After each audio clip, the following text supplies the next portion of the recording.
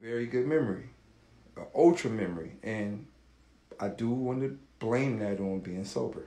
I honestly believe the simple fact that I never was into substances is why I have a crazy memory. Or maybe I just have a crazy memory by itself. Who knows? I don't know. But from a child, I've always had this one thing about me. One thing, since I was a child,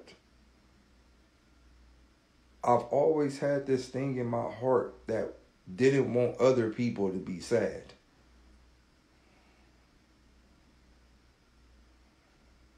All right, put like this. Y'all gonna help me find Rachel. Everybody scan their databases for a girl named Rachel. She live in LA somewhere. She used to have birthdays with a boy named Devon. My mama name is Pat. I forgot her mom name. But her and my mom used to work at the LAX airport together. Find her. All right.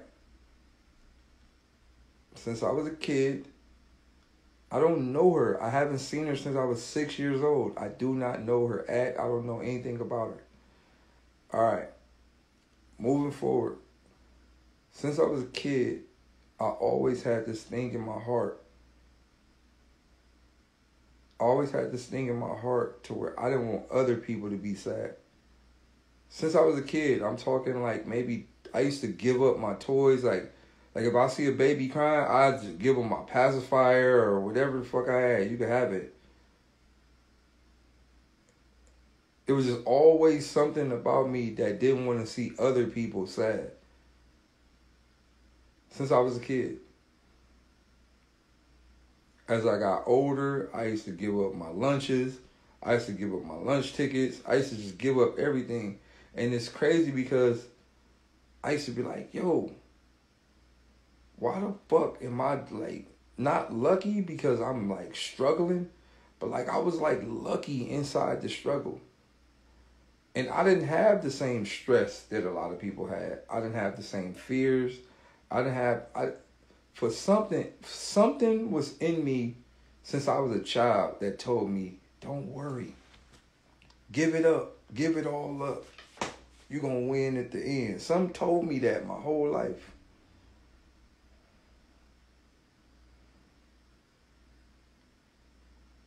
My whole life, some told me I just, give it up. Like it don't it don't matter. Like make sure that person stop crying.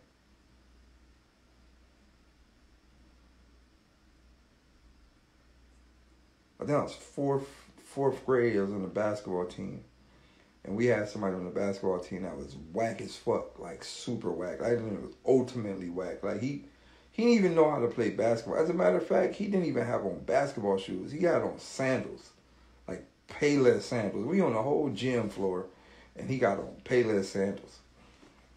But anywho, the game on the line, we down by one point I got the ball in my hand. I could clearly score the bucket. I pass it to him.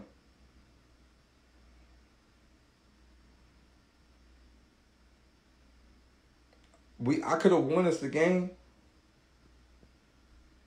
but I passed it to him. He break that shit. The whole team was mad. The coaches, everybody was mad. Every God damn it, Devon, why'd you pass the ball? We were supposed to win. You were supposed to shoot it. The whole squad was mad. I looked at him and I seen how happy he was that he that he took a major shot like that.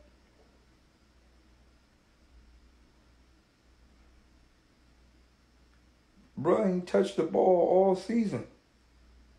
Nobody passes this nigga.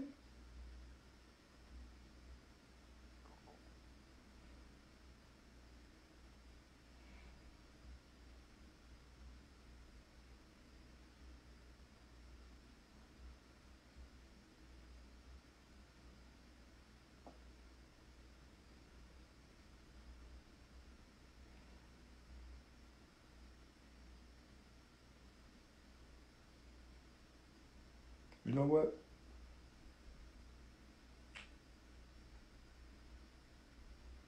I gave up a lot of opportunities in life. I gave up a lot. One of the reasons why I gave those opportunities up is because I always knew in the back of my heart I was going to win somehow. I always knew. Uh, like literally, always. I've always knew. One thing I didn't know was when. When and how.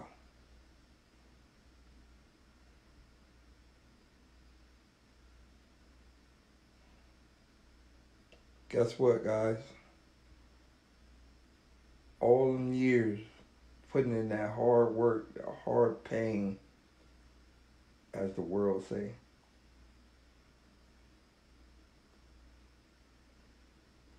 Shit really paid off.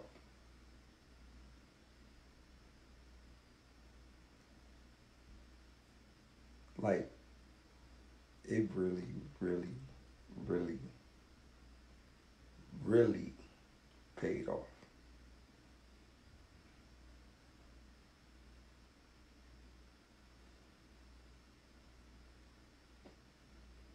You know what?